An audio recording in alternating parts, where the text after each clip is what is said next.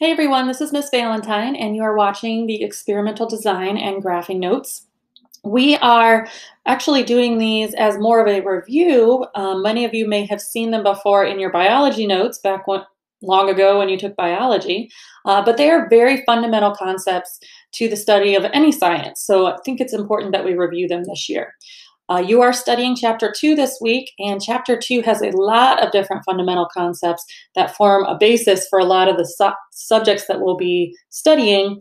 Um, but a lot of questions in the AP exam focus on being able to interpret graphs, design a graph, design an experiment. How do you make an experiment more reliable? So that's one of the reasons I wanted to really hit on this in our notes this week.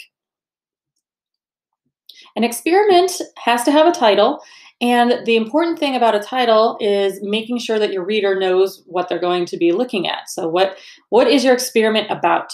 You want to be as specific as possible, and you don't want to be creative or be humorous when it comes to the title. So I know that in English class, sometimes they, they want you to hook your audience maybe with a title, um, but that's not the point of a title in experimental design. You want to be specific to the point about what you are going to be writing about. Now, the format of the title will um, can take this form of the effect of the independent variable on the dependent variable. And of course, you would write out what those variables actually are for your experiment. Um, and if you forget what those things mean, we are going to review those in a few slides here. So this is definitely one of those things that people forget if they don't use it all the time. So we will review those two variables. But again, the format, um, this is a very effective format to explain exactly what your experiment is about. Um, it can be a little bit different if depending on the experiment that you're doing, um, but just know that that's, that's a very uh, clear-cut way to title your experiment.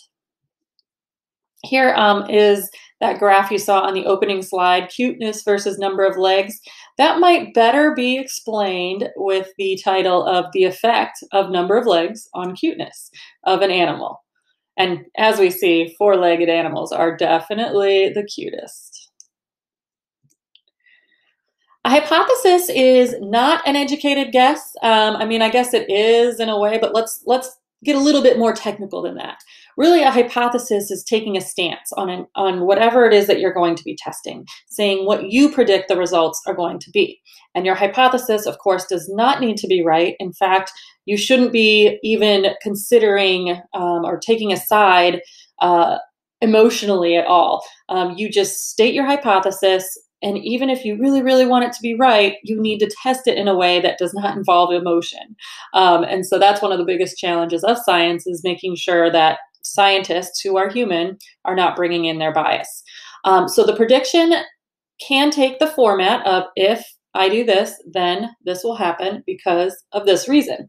And this is a very good go-to format, um, but it is not the essential um, only way to do a prediction. So sometimes predictions are not really well fit for the if then format. And so if there is an experiment or a study that we're going to do during the year where you need to come up with a hypothesis, I'll let you know if the if then because format doesn't work. But for the most part, when you're doing controlled experiments, uh, formatting it with the if then because is a very good way to go. When you are designing a controlled experiment, you need to have something called an independent variable. Oftentimes, you might hear scientists call it a controlled variable because that's part of a controlled experiment, or it's also called the manipulated variable. So it's something that you change or manipulate um, over all of the setups that you have in the experiment. Um, it's a variable that you control, you change, you you make it what you want, um, and it's going to be the thing that causes a chain change to happen. Um, and th that's what you measure, the dependent variable we'll talk about on the next slide. So this is something um, where everything is set up the same, you just um, have the independent variable changing from setup to setup.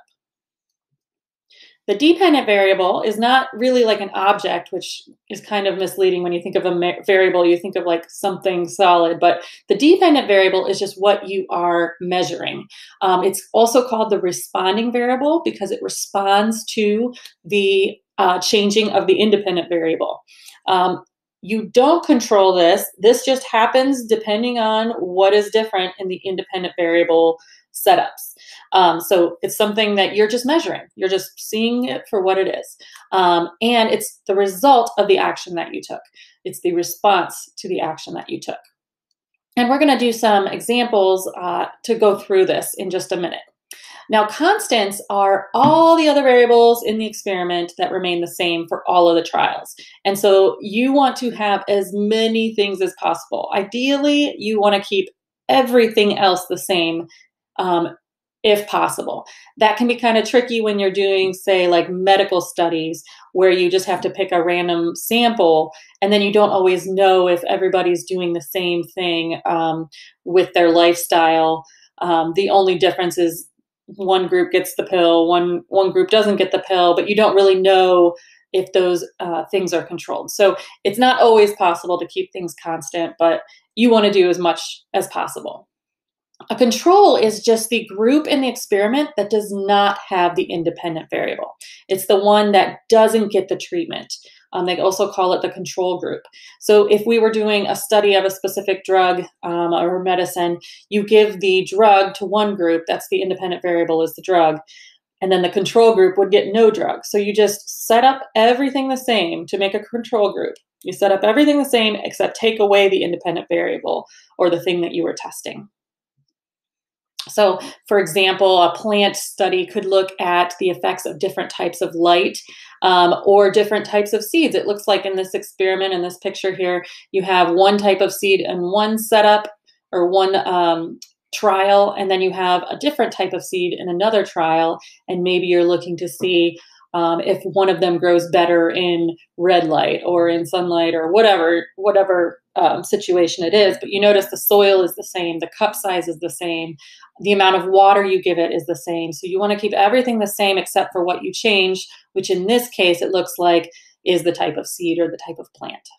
Okay, let's try putting our new knowledge to work and see if we can pull out the important scientific variables, and other information from this example problem.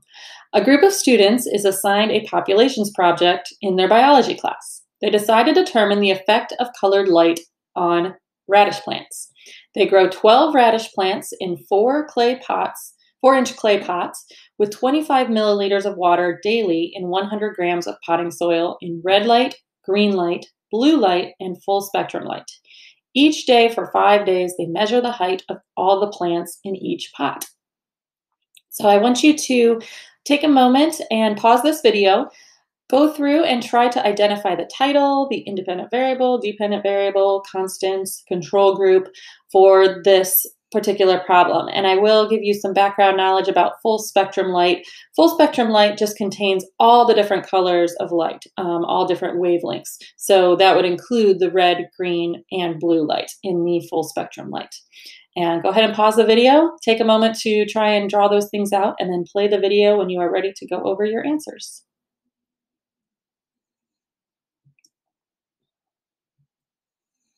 The title of the experiment, a good title for the experiment, would be The Effect of Colored Light on Plant Growth.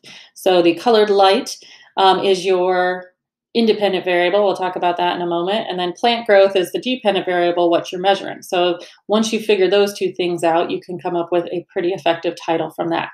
Now, if you put more specifically the effect of red, green, or blue light on plant growth, that would be just as fine as well. In this case, this hypothesis, uh, there is no because portion of it. Um, it's if a plant is grown in colored light, so not being specific, again, if you are specific, that's fine. If the plant is grown in colored light, then its growth will be less than in full spectrum light. So this one is just a comparison of other colors to the spectrum light. You could make a guess about other um, other light colors or other combinations of the light that you're talking about. Now, um, in many cases, if you have a lot of background knowledge about different types of light and plant growth, you could add in the because part of the hypothesis. And if this were a larger scientific study, you would definitely want to include that as part of it. The independent variable, like I said before, is the color of the light. And it says with units here in parentheses, um, if there is something that doesn't have units, like color, then you don't need to have units. Uh, we're not measuring wavelength of light. We're looking at just the color, and that doesn't have units. So you don't need to have that for this particular example.